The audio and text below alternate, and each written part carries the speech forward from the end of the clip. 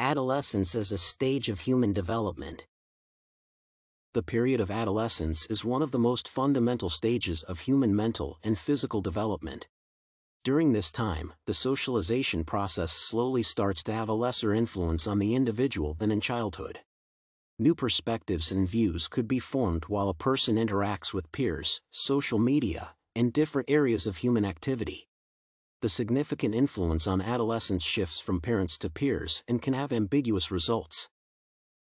The notorious chief change present in adolescence compared to children lies in their comprehension of ideas and thinking processes. Namely, they enter the formal operational stage described by Piaget, which indicates the emergence of the ability to think abstractly, creatively, and without any additional resources. For example, people aged 12 can solve tasks without visualizing them but using just their minds.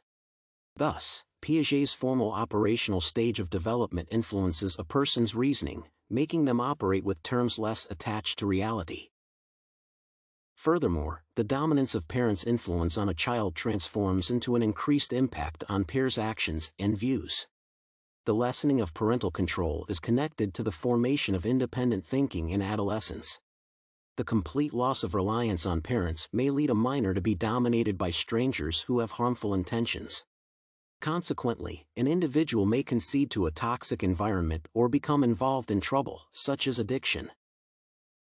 Thus, moderate interference of parents can be beneficial for a person since they could be supportive and advisive in adverse situations. In turn, peers receive more power of influence because individuals interact with them more often and see them as true society representatives. On one side, a child might develop a misconception that all people are like their peers, which is virtually not so. That would bring issues when a person tries to communicate with people from other areas or social strata.